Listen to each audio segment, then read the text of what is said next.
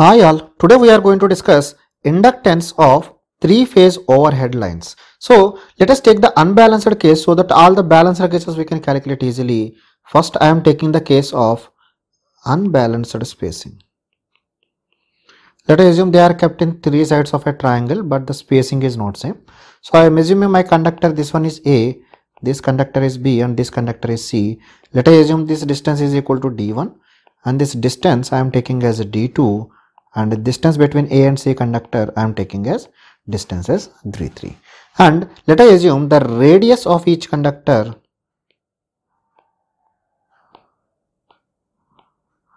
is equal to r meters. And let us assume the distance of separation between them is d1 d2 d3 and the currents in flowing through the respective currents are ia ib and ic and this ia ib and ic are flowing such that this ia is equal to IB is equal to IC is equal to some I. Let us assume say in magnitude. Let us assume the load is a balanced load having the same magnitude of the current but they are displaced in phase because we know in three phase supply they will be displaced by some angle. So let us try to calculate how this comes. Let us first calculate what is the flux linkages of conductor A due to the all the current passing through all the conductors that means current passing through its own conductor plus conductor B and conductor C. So this will be 2 into 10 to the power of minus 7. We have seen in the previous class how to calculate this. So this will be equal to IA due to because of the same conductor. So it will become ln of 1 by r dash where r dash is 0.7788 times of r. This is considering the internal flux linkages also. Plus the due to the second conductor will be IB ln of 1 by d1 because it is spaced at d1 distance apart and third one will be IC into ln of 1 by d3 because the distance between conductor A and C is D3. So this will be in Weber turns per meter. So similar is the case I can calculate for the conductor B 2 into 10 to the power of minus 7. So for conductor B it will be IB ln of its own distance so it is 1 by r dash plus due to conductor A it will be IA into ln of the distance between the conductor B and conductor A1 is is D1 plus similarly this will be IC into ln of 1 by B to C it is D2. So this way we will calculate. So similar is the case for C. C will be equal to 2 into 10 to the power of minus 7. Now we are taking the conductor C. This will be IC into ln of 1 by r dash plus due to the current A this will be IA into ln of 1 divided by D3 plus IB into ln of 1 divided by D2. So let us take all these three as equation number 1. So if the system is balanced, the value of IA is equal to IB is equal to IC is equal to, I am taking the magnitude only, it is equal to I and but their phases are displaced. So if I are taking the phase current A as my reference, so I can take as IA is equal to I only. The value of IB will be I that is lagging behind by 120 degrees or this I can write in terms of cos 120 minus j sin 120 because minus 120 is there. So if you substitute you will get it as minus 0.5 minus j 0.866 and similar is the current IC I can obtain as I into minus 0.5 plus j 0.866. So let us take this as equation number 2. So now what I am doing, I am substituting equation number 2 in equation number 1. So if you substitute the flux linkages with the conductor A, I can write as 2 into 10 to the power of minus 7 into I into ln of 1 by r dash plus the second current is I into minus 0.5 minus j 0.866 ln of 1 by d1 plus the third one will be I into minus 0.5 plus j 0.866 times of ln of 1 by d3. So this value will get. So this I can further simplify. This will be 2 into 10 to the power of minus 7 into I am taking out. So this will become ln of 1 by r dash plus ln of this first one that means real term I am separating out. So this will become square root of d1 multiplied by d3 plus the third one imaginary part if we separate out this becomes j into root 3 into ln of square root of d1 divided by d3. This is what we get. So this will be in Henry per meter. So from this I can calculate my self inductance or inductance of the first conductor will be the flux linkages divided by the current passing through the conductor is IA. So this will be equal to 2 into 10 to the power of minus 7. This will be ln of 1 by r dash plus ln of square root of d1 into d3 plus j root 3 ln of square root of d1 divided by d3. This will be in henries per meter. So let us take it as equation number 3. So similar way I can calculate for the other conductors also. So I can calculate my value of LB will be 2 into 10 to the power of minus 7 ln of 1 by r dash this is due to the same conductor and the remaining distances we will take it as square root of d1 and d2 are the remaining distances plus j into root 3 ln of d2 divided by d1. This is what we get. Let us take it as equation number 4. Similar way I can calculate LC is equal to 2 into 10 to the power of minus 7 ln of 1 by r dash plus ln of square root of d2 into d3 plus j root 3 into ln of square root of d3 divided by d2. Let us take it as equation number 5. So from these three equations you can observe that the inductance is not same because the distances are separate so automatically inductances are not same. Let us assume if the distances are same then all the terms will be equal. As the distances are not same automatically due to this the LA is not equal to LB is not equal to LC or we can tell the inductive reactance of the first conductor will not be equal to inductive reactance of second conductor is not equal to inductive reactance of the third conductor. So automatically voltage drops will be different in the different conductors. So if you want to avoid that problem, the only solution that is available is keep every conductor will occupy the second position so that unbalance will be compensated. So how I can do this? Let us assume I am having a total length of L so that I am dividing into three parts. So I am dividing into three parts. So this is my total length of the conductor. The total length of the conductor generally we call by the term one barrel is the complete thing. So what we will do if the conductor A, B, C are here, each conductor will occupy one third for each position. So A will shift here, this is A. So after some time the A will shift here. So A has occupied all the three positions. Now coming to the B, so B will be shifted here, this is B. So after this it will occupy the third position. So B has occupied all the positions. Similar is the case for C. So C also will occupy all the three positions like this. So this is C and this is also C. So now you can see each conductor is there for one third of the length it is occupying each position so automatically because of the transposition what happens the inductance of each conductor will be average of the inductance what we have calculated before or we can tell the inductance of each conductor will be average of LA plus LB plus LC divided by 3 so from the above equations we can calculate LA plus LB plus LC divided by 3 from equation number 3, 4 and 5. So this will be 2 into 10 to the power of minus 7.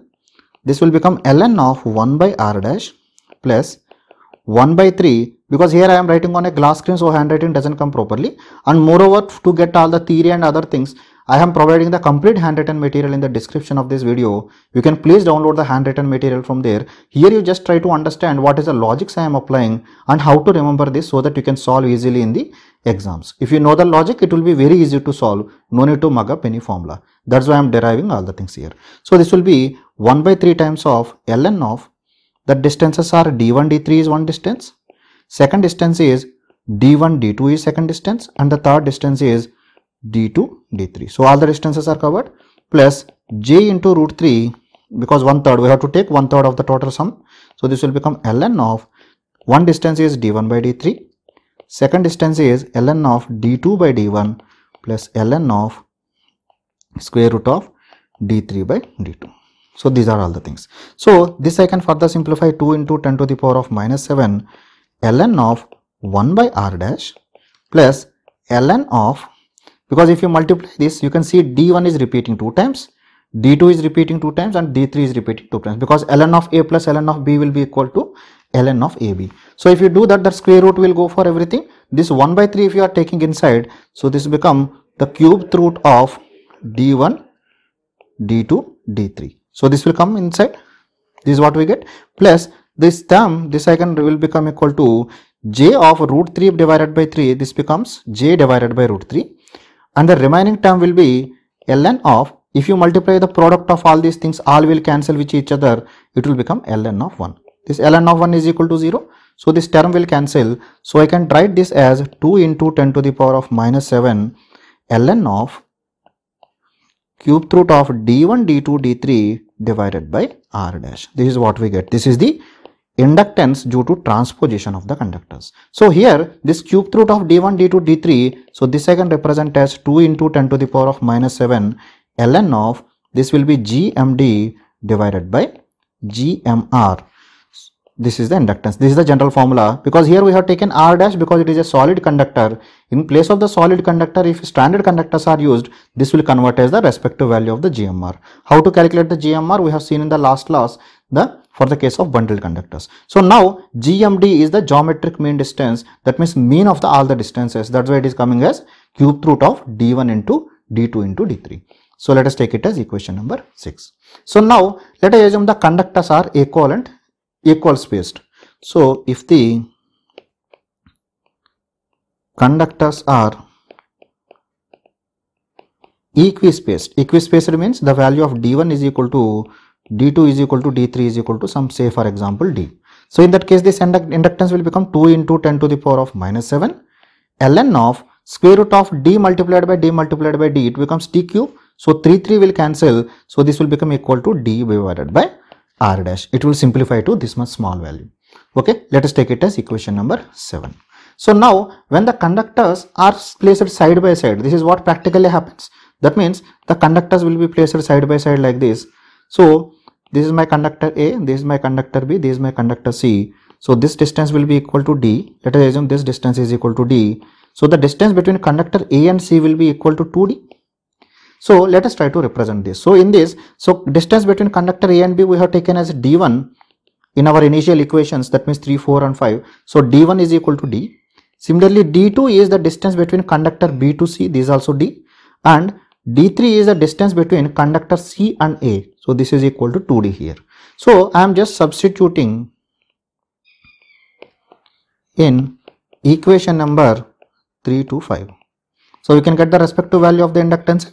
you will get the inductance LA will be equal to 2 into 10 to the power of minus 7 into ln of 1 by r dash. This is the first one. Second one is ln of square root of distance of A. How to calculate this? I am telling how to represent. So A to B, whatever is the distance that is D. And what is the distance from A to C? It is 2D. So this is what we have to write. Plus J into root 3. And now we have to write ln of square root of. And what have distance we have to take? I have to take the distance of again same thing first take the distance from A to B and then A to C follow the sequence A B C always so we are considering the conductor A so A to B and then A to C so A to B will come in the numerator and A to D will come in the A to C will come in the denominator so this way you have to write so this one if you simplify this you will get as 2 into 10 to the power of minus 7 into ln of this d multiplied by d will be d square and square root of 2 I am leaving there and this d square and square root will cancel that d will come that I am combining with this one. So this become equal to ln of d by r dash. This is what we come plus 1 by 2 times of ln of 2 because square root of 2 I can write as 1 by 2 times of ln of 2 plus this will be j times of root 3 is 0.866 times of ln of 2. This is what we get. So it is plus or minus. I think this is minus. I think it is plus only, right? Okay. So in this way you have to calculate. Now coming to the value of LB, the inductance of B, this again you can write as 2 into 10 to the power of minus 7 ln of 1 by r dash plus ln of now the distance from B to C, B to C is D, then B to A is also D, ln of D cross D plus J root 3 ln of Again, what is the distance from B to C is D and B to D is also D. You have to write this. So, this will become equal to 2 into 10 to the power of minus 7. D by D will become 1. ln of 1 is equal to 0. So, this becomes equal to 0. So, this will become ln of D square square root will cancel. So, this will become D divided by R dash. This much simple it become Henries per meter. Now, coming to the third conductor LC, this will be 2 into 10 to the power of minus 7 into ln of 1 by r dash the self GMD is same Now coming to ln of square root of, now C to A, C to A it is 2D multiplied by C to B is D plus j root 3 into ln of again square root of because after C comes A. So C to A distance is 2D divided by C to B distance that will be D. This way you have to calculate it. So this again you can simplify 2 into 10 to the power of minus 7 into ln of d I am bringing here it becomes d divided by r dash plus 1 by 2 times of ln of 2 plus j times of 0.866 ln of 2.